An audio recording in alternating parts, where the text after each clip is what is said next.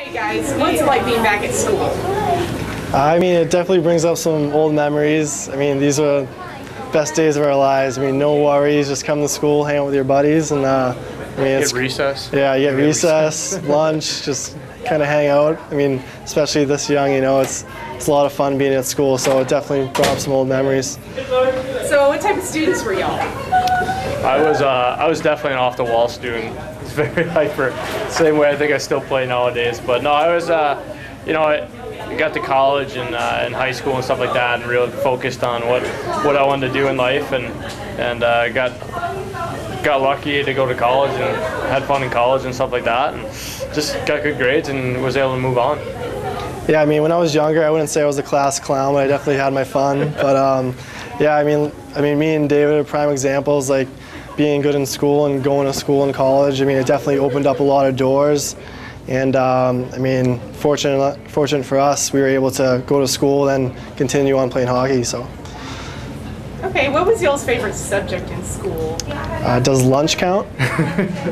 I was uh, I was definitely a history guy. I love history, and um, I think my least favorite, I think like everyone else, is mathematics. But uh, I, I really enjoyed history. I liked uh, knowing where you know we've come from, and um, I still believe you know with today, even with your family and where you play and stuff like that, you, you take appreciation where you come from, and it's kind of neat to, to realize where we we are where we're going.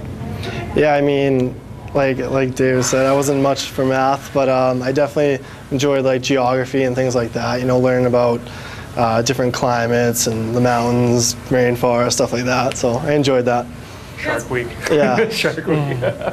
Now, as public figures in the San Antonio community, how important is it to kind of teach kids to stay in school, get a good education, that sort of thing? Well, it's very important. I mean, you got to work hard for the first 20, 23 years of your life. I mean, you got to set the table uh, for the rest of your life. I mean, you work hard in school, it's going to pay off down the long run, and uh, it's going to eventually get you a good job and uh, make you successful. So. Yeah, I think especially with today now, you know, it's it, you don't realize how, how fun it is to be in school actually with all your buddies, and it, you get older, and it gets you know almost becomes a job and stuff like that, and you just gotta enjoy being here. And I, I mean, there's no other place where you can come together with all your friends all the time, and you know, five days a week and hang out. So.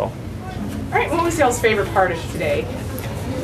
Um, I enjoy just walking in the room and seeing everyone smiling and in their little chairs and stuff. I just, it's a good atmosphere to be in. I think it was great. I mean, I, I thought the kids had awesome questions today. It's kind of neat to, uh, you know, educate them and actually feel like a teacher, you know, with hockey. And hopefully, it's getting bigger down here in the south. You know, from Minnesota, it's so big that it's it's kind of crazy. But so it was neat that the kids, uh, you know, had great questions and I actually listened to every question today. So it was awesome.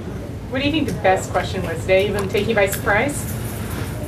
Um, I say the best questions were the non-questions, just kind of the statements. But um, yeah, I mean the kids are great. So Yeah, I thought. Uh, I mean, they, like I said, they've never put any of the hockey equipment on, so it was kind of. I think every question was flying left and right on what we do and stuff. So, um, you know, like I said, they had great questions, and it was fun to hear, you know, them listen and stuff like that.